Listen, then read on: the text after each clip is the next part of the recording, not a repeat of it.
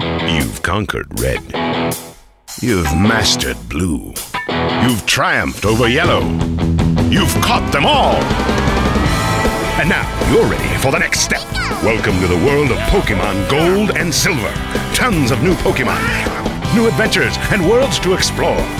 New badges to collect. So you've got to ask yourself have you got what it takes? Pokemon Gold and Silver rated E for everyone. Gotta catch 'em all.